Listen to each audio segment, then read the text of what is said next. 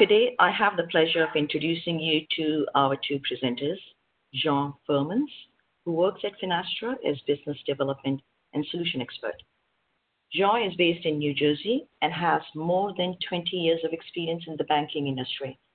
We also have Sebastian Aldeco, who's the subject matter expert at NetGuardians. Sebastian has over 20 years of experience in fraud and compliance technologies.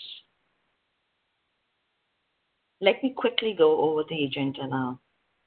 Jean will discuss SWIFT-related use cases, Finastra's Customer Security Program and Service Bureau solution. After his presentation, Sebastian will discuss NetGuardians' approach to fraud prevention, how we use AI to prevent fraud and overcome challenges in this space. He will then show you the demo. After that, we will have time for questions and answers. Before I pass it on to Jean, let me quickly introduce NetGuardians to you. NetGuardians is a Swiss company, so our headquarters is in Switzerland. Our regional head office is in Singapore. We do have offices in Germany, Kenya, and Poland as well. We have over 90 employees today and more than 60 customers globally. We do work very closely with our partners. We have global partners, we have regional partners, as well as local partners. So with that, I'll turn it over to Jean. All yours, Jean. Well, thank you, uh, Shehbana, and um, thank you for uh, the invitation uh, to speaking to your, um, um, you know, invitees. So maybe we can go to the next slide. And the next slide is actually an introduction to, uh, you know, the Customer Security uh, uh, Program developed by SWIFT. In other words, a CSP. For those who are using SWIFT, you know that you have to do, or up till now, to do a self-assessment. If not, as of this year and the years to come, it will have to be either an independent internal organization, um, or um, external third party Uh, that will help you with that self-assessment. Uh, but before, uh, you know, SWIFT came up with the CSP and a number of recommendations, we can go to the next slide. Um, there were some cases or incidents, let's say, in the market before they really came up with that program. And it all started in Bangladesh, but, um, you know, before that, there were fraud cases as well, but obviously, this was um, highly uh, publicized. So obviously, highly publicized because of the, uh, you know, amount that's been defrauded by, um, you know, um, from from uh, the Central Bank of Bangladesh. So the initial attempt or the initial or the objective was to defraud $1 billion, and they were only taking uh they were only successful in taking away $81 million. Still a good price, but obviously far away from 1 billion. But how did that all happen? And uh so the next slide will show, you know, what what actually, you know, happened, you know, gradually. So attackers or hackers or fraudsters, you know, they're looking at vulnerabilities, and they, you know, they're looking for targets. And in this case, you know, fortunately, it was the Central Bank of Bangladesh. And by doing so, uh, they start to penetrate uh, the infrastructure, the environment, by placing malware. And that malware actually um, does some reconnaissance uh, of your traffic, what is happening with transactions, beneficiaries, amounts, Uh, traffic, uh, or payment patterns, and uh, so on. So once once that information has become available over a, you know, a given um, period of time, um, what they did is actually use the SWIFT Alliance middleware, the messaging interface, to create those transactions, those those transfers. So they were not, um, the transactions were not created in the core banking system, Uh, but actually on the middleware, uh, where actually the, um, you know, uh, where it is very or most vulnerable. Um, although there are controls, but still most vulnerable. Um, they did not wire just one transaction of 1 billion. No, they really split it up over, um, you know, apparently 35 transactions.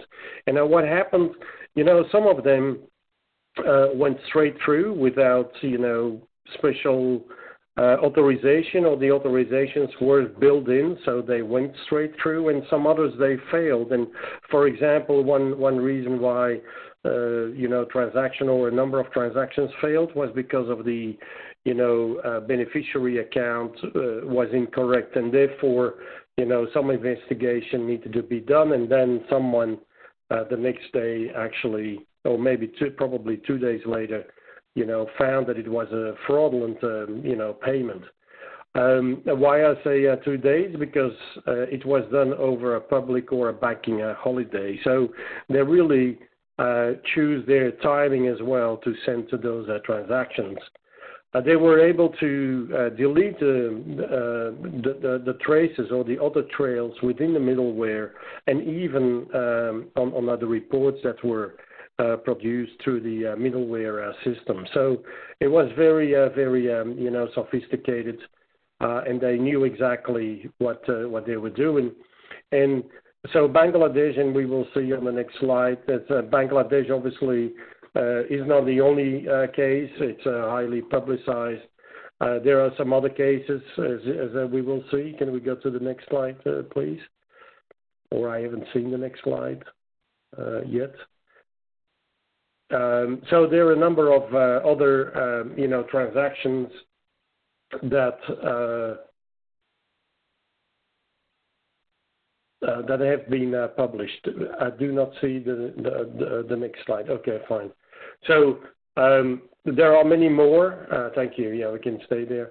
There are many more of those transactions or fraudulent payments, but not everybody you know, goes to the press or the press do not necessarily, you know, know about them.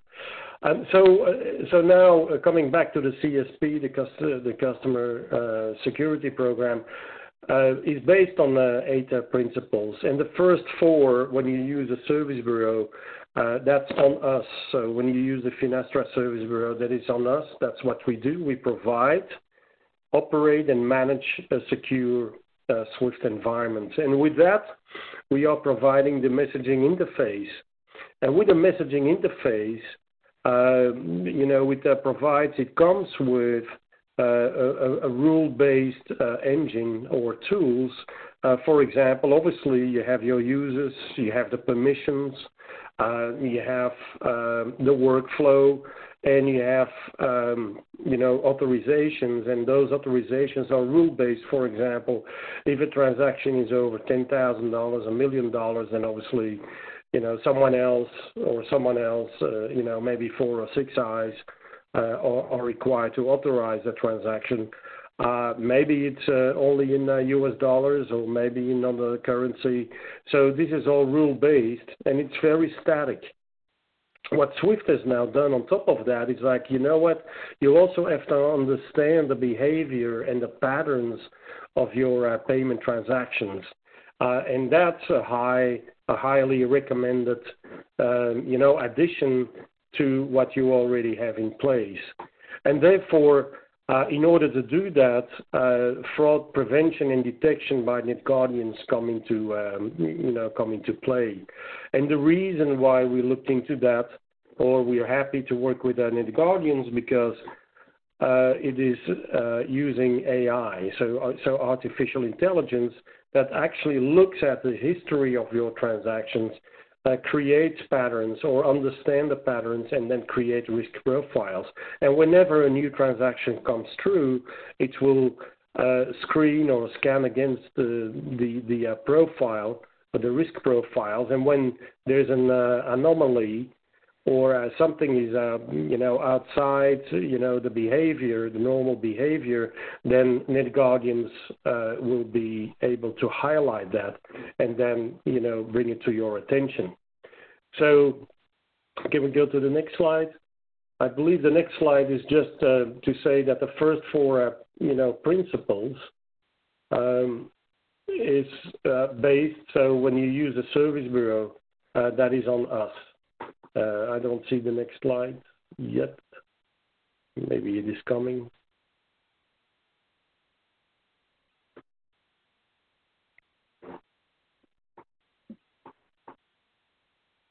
Jean, Financial Service Bureau slide. It's there. Uh, okay. So now I see the architecture type. That's just to say, you know what? Everything is on us. These are the four principles but you can go to uh, the Service Bureau slide, indeed, Finastra Service Bureau. If you have it, that's fine. I don't see it yet, so I assume uh, there's some other people who are not uh, seeing it uh, yet. Um, But just as an introduction, as a Swift, uh, you know, service bureau, we are certified. Finastra operates a number of service bureaus um, across uh, geofa- uh, geographical uh, regions. And um, so obviously it's a Swift uh, environment, and here we see it. With that Swift environment, we are certified. The messaging interface is certified. And we connecting to Swift, but we also, uh, which is a global uh, banking network, we also um, added the Ripple network, which is also a global banking network. So if you have some questions or you're interested into Ripple and into connecting to Ripple, please let us know, and we're more than happy to entertain that discussion. Um, so it is a whole environment completely operated and, uh, managed by us. Uh, it serves or it um, supports all the Swift uh, services, FinFile, Act, Interact. Um, it comes with a rule based, and now left and right, as we see, we put barriers, and those barriers are provided by uh, NetGuardians.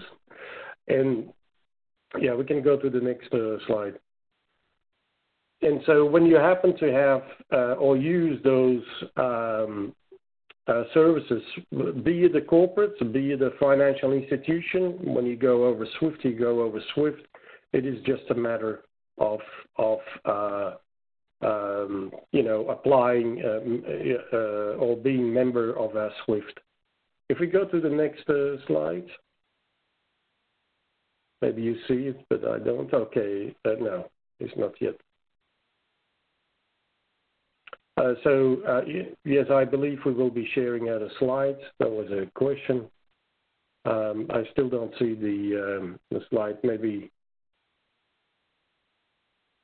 let's be patient. But basically, the so the NetGuardian. So yeah, so here it is. Um, sorry for other delays. So NetGuardians is not only on, the Swift Service Bureau. It is much more than that, and Sebastian will uh, talk about it. Um, so obviously, we have fully integrated it in our platform, uh, but we NetGuardians extends also within you know, within the financial institution, if you look at the financial institution, yeah, we can stay at this slide, uh, into the financial institution, capture anywhere, whenever transaction is uh, being generated, it can capture uh, that transaction and look at it, the profiles, uh, whether it comes from, you know, a branch or uh, internet banking or your phone, um, you, know, the app on your phone and uh, so on. So it can really uh, look at those transactions and, and uh, correlate everything um, with your uh, mobile phone, for example, uh, whom you are, what you do, how much you send. Um, and so it's all profile based. And uh, given that, so why NetGuardians? Because obviously there are other uh, you know, providers as well. But we are happy to work with NetGuardians. Um, first of all, because it was for us easy to integrate. So for our customer base, uh, client base, it was an easy, uh, you know, integration with our current, um, you know, environment, with our current platform, uh, which obviously lower the operational cost. Um, that's one thing. But what is important as a solution, it's based on artificial intelligence. So it is a learning tool. It's not just rule-based. It's not like, okay, this is what it is, and if you don't change anything, it's going to be forever like this. No, it is an ongoing learning, um, uh, learning, uh, or it has a learning capacity. So, so it it, it, it doesn't look at rules. It, it doesn't know rules. It looks at the behavior. It looks at patterns. It creates risk profiles. It will uh, adapt those risk, uh, risk profiles. Um, and for us, for Finastra, uh, we believe it really enhanced our portfolio by we are already providing a payments workflow with permissions, rule-based uh, engines, and uh, so on. on. Top of that, we have duplicate detection, we provide sanction screening, and now as per CSP uh, recommendation. But you know, these days I would say it's common sense. It's also you know for fraud prevention. And having said that, this is a nice segue into NetGuardians. So I spoke why we are adopting a, adopting a NetGuardians, and we're happy to work uh, with the NetGuardians team. So I'll leave it to Sebastian to uh, you know talk about the uh, solution. Sebastian, over to you. Thank you, Jen. Um, hi, everybody. So what I'm going to talk to you today about is uh, I'm going to start with the difference between a rules-based approach and a specific artificial intelligence approach, and why a rules-based approach, which is something that probably you already have built in in-house or with certain extra tools that uh, are there, um, there's to be uh, they're going to be uh, ineffective to detect Swift fraud cases. Can you move to the next slide, please? Um, so this will be the look and feel and the usual implementation approach of a rules-based product. So what you're going to have is in a traditional rules-based fraud detection, what in NetGuardians we call generation one of fraud detection product, you have the fraudster. The fraudster commits a fraud, certain type of activity in order to procure money from someone else. There is a human analysis. That means uh, the um, customer of the bank will report that the money is missing, or the bank itself or some entity will detect that it was a fraudulent activity. A rules will be created, the rules will be implemented, and then the, you have detection after that one. So obviously, this is an approach that has been around for a long time, and um, they have several disadvantages. The main disadvantage is that it's purely a reactive approach. So you have to be attacked first by fraud, or you have to receive some intelligence from someone in order to be able to have, be secure and be covered for that. And uh, sadly, does not cope with today's globalized world uh, for several reasons. Uh, time of the day, uh, level of activity, amount of transactions. There are many things why this is used to work maybe 10, 15 years ago, but right now it's definitely not a good idea. And uh, the other problem that you have is it generates a lot of false positives. That is because you're going to have uh, rules to, the, to alert about certain scenarios that generates false positives in other scenarios. If the rules are not constantly maintained and are not constantly um, fine-tuned, you will have a lot of false positives and you will need to create a new exception for the rule for any type of new activity which is valid. So this requires a lot of effort and is definitely not uh, something that nowadays uh, is actually efficient as it should. Can we move to the next slide, please? Now, how do we do it in NetGuardians? How do we block fraudulent transactions in real time in NetGuardians? Can you move to the next one, please? So this is the way that NetGuardians approach the situation. And you see it's a little different than what it was done in the rules-based approach. In the rules-based approach, you are focusing on the fraudster and you're looking for a fraudulent activity. In the, the artificial intelligence approach that we apply in NetGuardians, we focus on the client.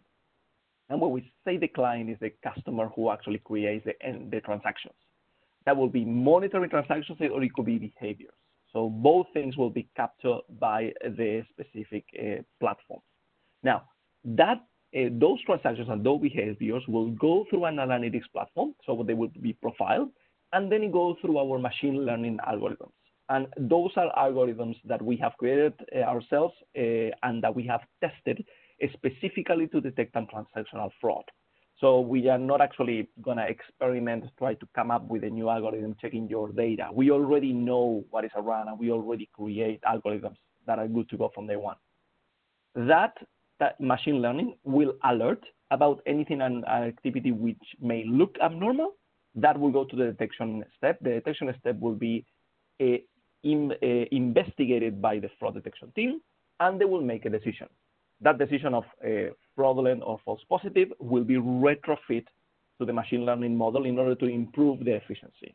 So opposite to the other approach, when you needed to modify a rule to, to uh, do an exception and have a false positive, the constant detection and improvement implementation that you have in the machine learning model will actually gonna skip all the situation and the model will gonna keep, keep on learning, keep on adjusting and keep on predicting things that may go wrong. So that, that's why we analyze behavior with this approach. We identify the anomalies, but here is a question that usually comes is, how can it learn from viewing historical fraud cases? So what uh, the machine learning do and the analytics will do is going to look at the historical data. But how can it learn? Uh, can we move to the next slide, please? All right, so here is a, a, a, usual machine learning implementation. So machine learning implementations are not all the same. So if you, many companies in the world, many institutions claim that they're using machine learning. And they, it's true, they are, they are actually using it. But it has some several disadvantages. One of the main disadvantages that you have with machine learning, which is what happened initially when the machine learning was tried to be implemented to replace rules, was the concept of overfitting. Overfitting is when you actually have a machine learning model and you train the model to detect certain kind of fraud. So you use the knowledge from the past to actually train your AI model to detect fraud. When you have an overfitting problem, the situation that you have is that the model does only detect the fraud that you train them to detect. So you are not better than you were with rules. With a rules approach, you were actually detecting a fraud that you know. When you train the model purely for the fraud that you know, again, you're in the same situation. Can you move to the next slide, please? This is the way that uh, we do it different in Guardians. So uh, the problem that you have with AI with overfitting is purely using a, concept of machine learning called supervised model. Supervised model is a model that you train to detect the fraud that you know. In NetGuardians, we use something called managed learning. We use the combination of supervised and unsupervised model. The unsupervised model is a model that will give us predictiveness about future fraud that may be detected. We don't use it in isolation. We use it with supervised model combined.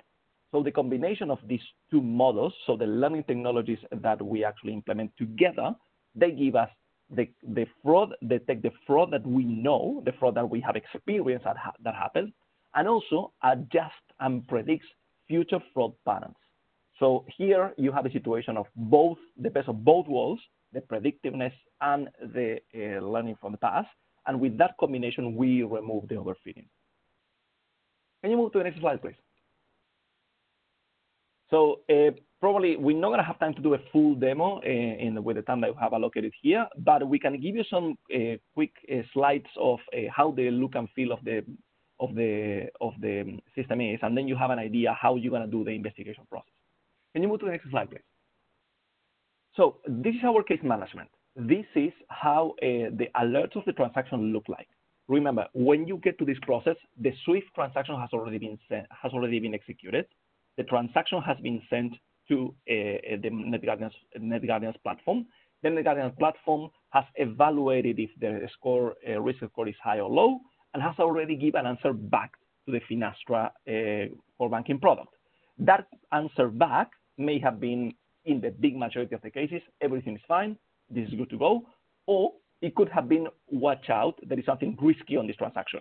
And then uh, the Finastra platform can decline the transaction, put a park on it, or hold it until a certain time until the decision is made. When those transactions trigger an alert which is risky, those alerts will appear in this, in this screen. And this is what you see here. This is a list of transactions, which is different SWIFT transfer. Those transfers have different activity, and they actually uh, trigger an alert. Can you move to the next slide, please? So when you review a transaction, when you go inside the details of the transactions, you're to see something like this. So on the top left side, you're going to have the risk score from 0 to 100. Uh, we will define with you what is transaction is risky and not risky. We have some guidelines there. This is this example is obviously a really bad transaction, has a 100% score, which means that it's most probably a fraudulent transaction. And when you have a transaction with this level of, of, of risk, most probably will be declining in real time. That you don't want to let something like this go. What you're going to have on the right side, it's the additional information that we found relevant for this specific transaction. So a quick snapshot of the activity that looks that is not right. And there's an investigate button there that we, I will show you how uh, it, what it does when you press it. Now we move to the next slide, please. So this is below the screen. So if you scroll down, you're going to see this information. And this is the, probably the most important information in this page. Each one of the lines that you see here is a data point, it's a data characteristic. And the bar that you have on the right side, the percentage bar, the red and blue bars, are how unusual is this data characteristic compared to the history of this specific customer or this specific account. So in this case, for example, if you see the first characteristic, receiver bank account, has a 99% score. That means that this person never sent money to this specific bank country before. That's why this characteristic is extremely unusual. The second one that you have there is the receiver bank country as well. You have the bank ID, you have the currency, you have the part of the day. All of them are above 90 something percent. That means that all those characteristics compared to the usual behavior of the customer, of the owner of the account, they are extremely unusual. Again, this could be a valid transaction. It could be something that the person never, never has done before, and that's why he's alerted. But the fact that he sent a, a money to a new bank in a currency that they never used before, at the time of the day that they never did it before, to a country that they never been, been, before, to a specific uh, bank ID that they never did before, the combination of all those abnormal characteristics make this score really high. And that makes this worthy of investigating. Below, you're going to have another ones which are in blue, that are the, the 60% or below. Those are the characteristics that are there, uh, but they are not unusual. Like, for example, the day of the week is 5%. That means that this person, based on his historical pattern, tends to send money on this day of the week. Same thing for the transfer type, same thing for the um, uh, change zone, etc. So one of the main questions that we have and one of the main concerns that we have when we are talking about machine learning and artificial intelligence is, is this a black box? And this is the way that we provide explainability of what the machine learning model is, model is doing. If anybody asks, any auditor or any entity asks you why you are reviewing this transaction, you can clearly explain on this page, oh, we are evaluating this transaction because the model has detected that all these characteristics are unusual. And because they are unusual, that's why we are putting the score. Compared to a rules-based product, think about a, a rules-based, you will need a rule for the characteristic one, a rule for the characteristic two, a rule for the characteristic three, and so on. So you're gonna need a rule for each one of them. When you have a machine learning model, the model takes care of all the characteristics together, and in one go, they give you all the data. That's why it's much easier to maintain. Can we please move to the next page, please? So this will be when, remember that there was a, below to the 100%, there was an investigate button. This is what you're gonna see when you press that button. This button will drill deeper into the characteristic of this transaction compared to the profile of the customer. So there, is, there are a series of dashboards uh, that they will, we have several by default, but we can customize if you wanna see one in particular to focus on the most important ones. The, the thing that you have at the top, the line, is the transactional data. So it's a transaction that triggered the alert. What you have there is a, a 47,000, sorry, 473,000 transfer uh, in the currency Sierra Leone uh, to a country to Kenya. What you have on the middle right, that is a, it looks like a, like a skin of a bone diagram, is the usual activity that this account has.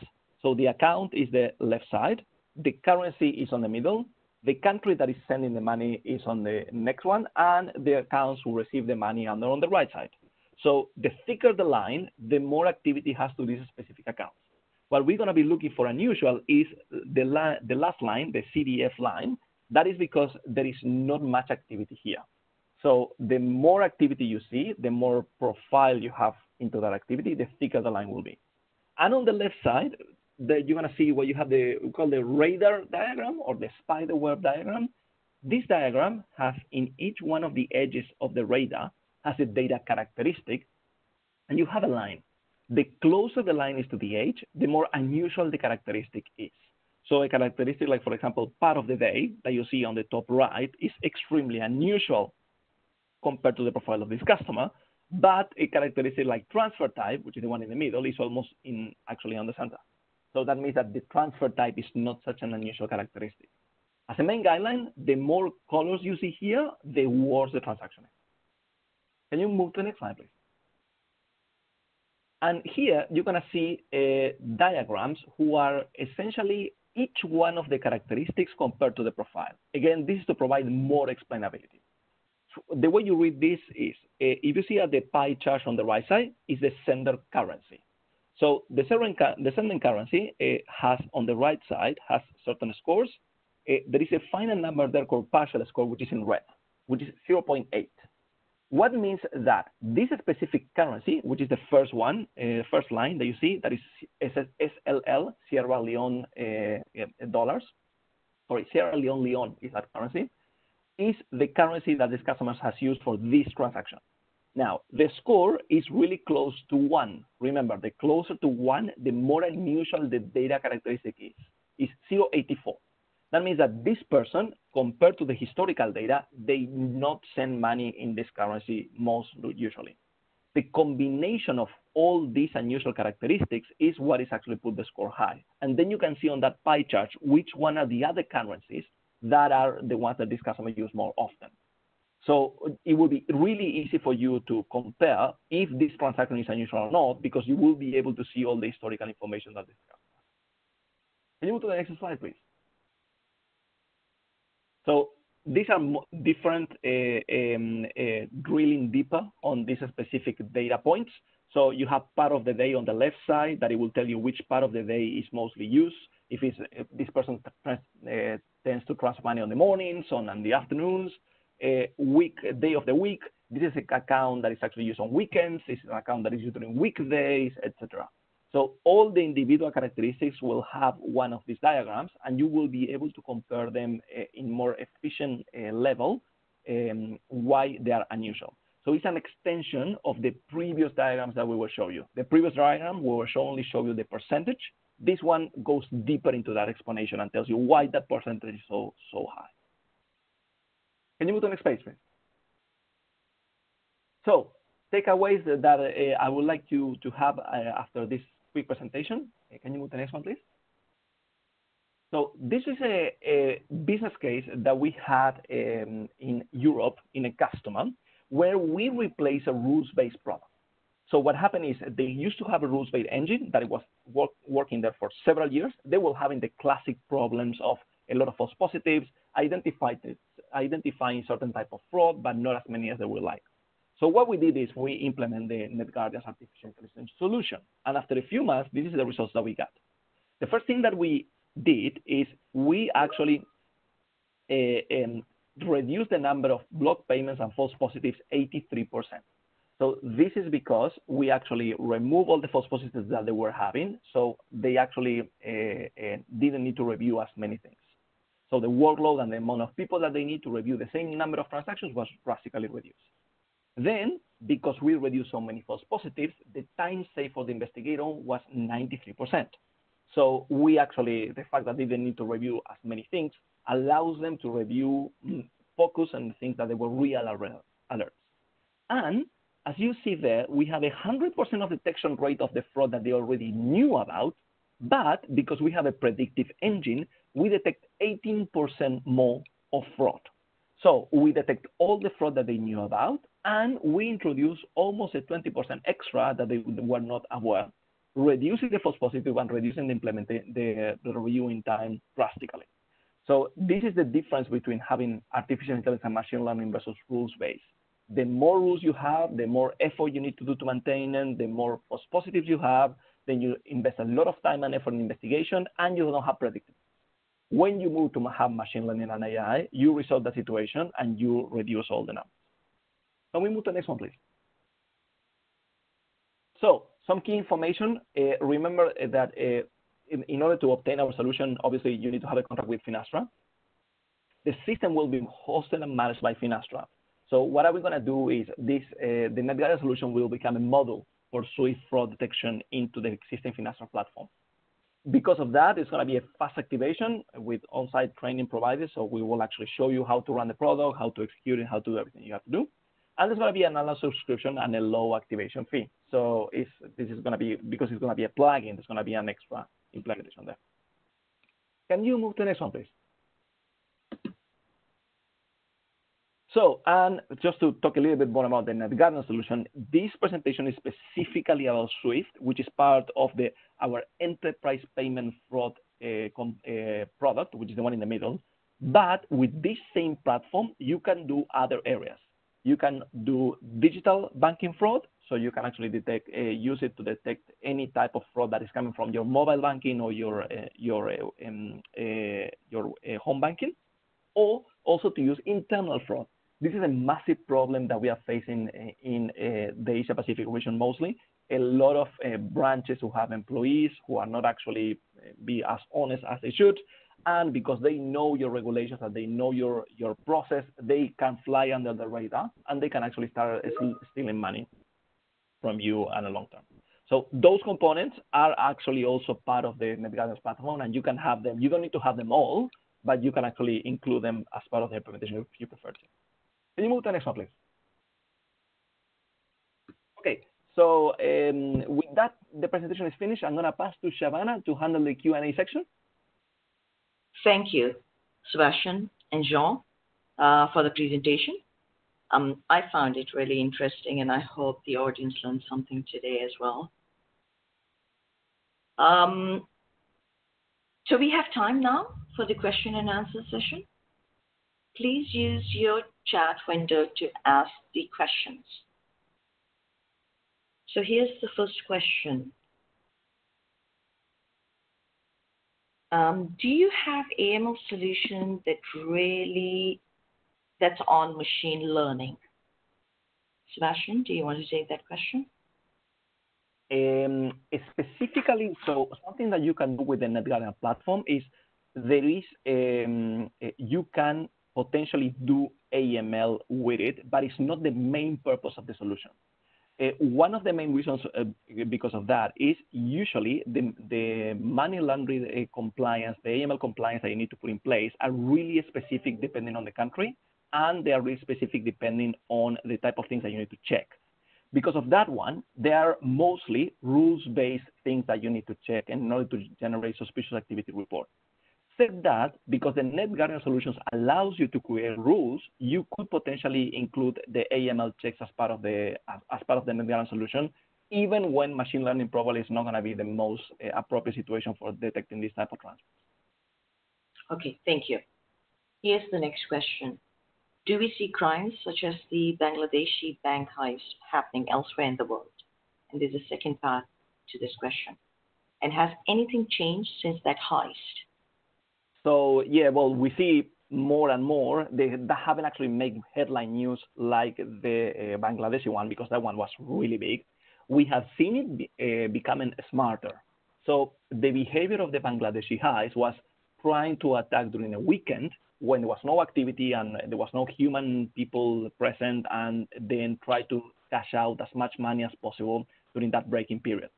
Now, what we are seeing now in the change of the model is because the fraudsters know that now people is ready for those exceptional days, they are trying to do a smaller theft, trying to blend those transactions between real transactions that are happening. So try to hide in plain sight.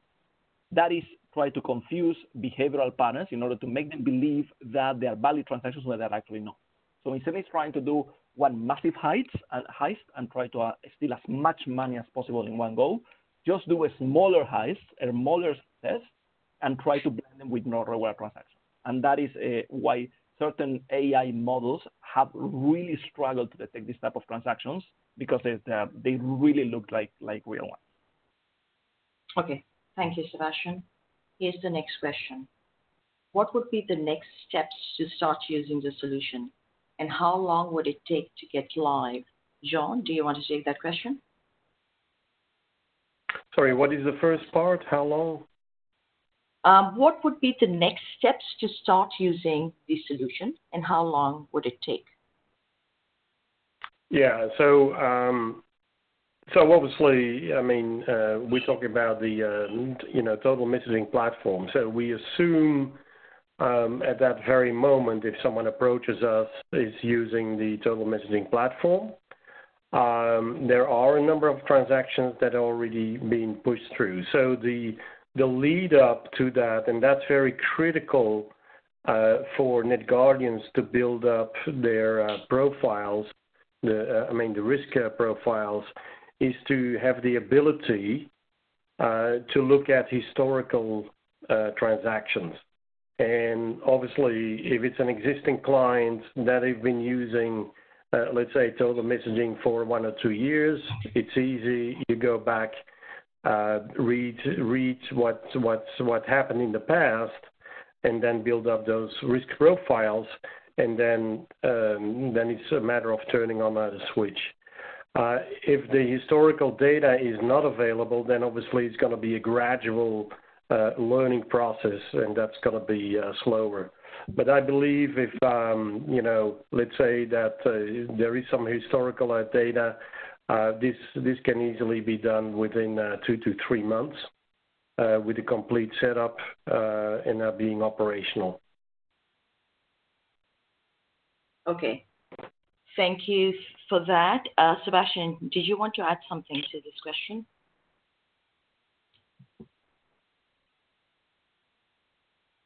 Sorry, I was in mute.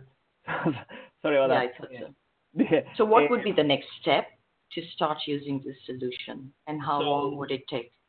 So um, usually, what uh, what we will do is um, so after we actually have all the organization of the contract and all the wrapping up of the signatures, then um, we probably will organize um, the configuration and training, and we can we can organize an, a, a, a meeting to have a design workshop and confirm that all your requirements are met. After that one, we can define the project scope and we can define how long the project implementation will be. Okay, thank you. So I guess we have time for one last question. How long does it take for the models to learn? Sebastian? Yes.